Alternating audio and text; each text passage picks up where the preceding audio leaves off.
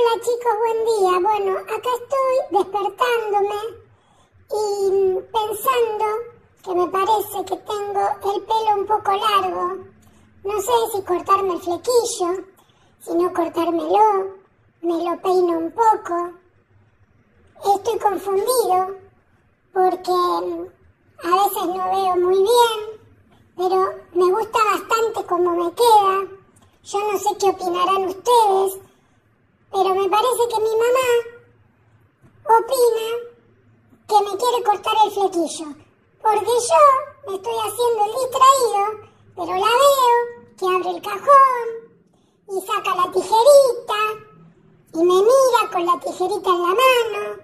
Y yo todavía no sé muy bien si me quiero cortar el flequillo, si no me lo quiero cortar.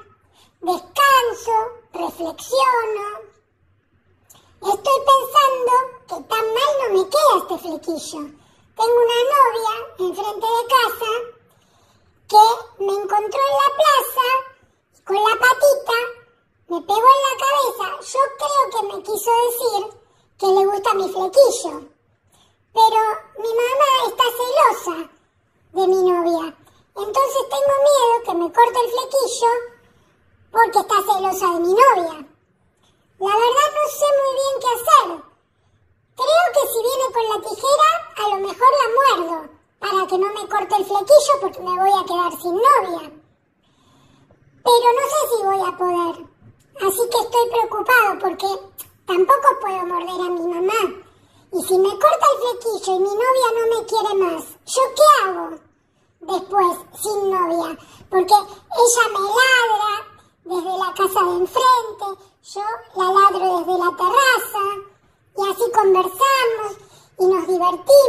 encontramos en la plaza y a ella le gusta mi flequillo. No entiendo cómo mi mamá no entiende todas estas cosas. Ahí viene con la tijera. Creo que la voy a morder. Voy a pensar un poco más. O tal vez pueda tirarme de la sillita y salir corriendo.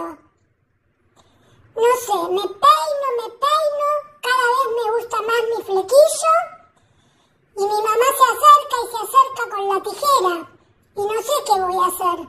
Estoy preocupado porque si me corta el flequillo y no la puedo morder, entonces voy a quedar con un jopito. Y a mi novia no le gusta el jopito. Tengo que hablar con mi mamá pero no sé si me va a comprender. Bueno, chicos, después les cuento. A ver qué pasó. Si me ven con un jopito en el próximo video, ya 倍数